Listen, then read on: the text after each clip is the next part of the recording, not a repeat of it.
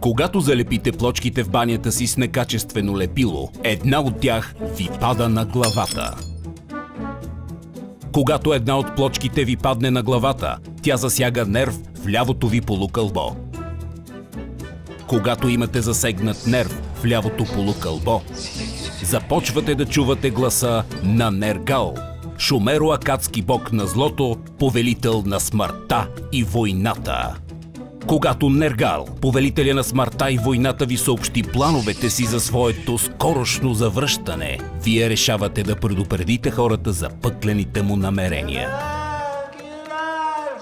Не предупреждавайте хората на улицата за предстоящото завръщане на шумеро-акадския бог Нергал. Използвайте лепилата за плочки на Вебер. Вебер. We care.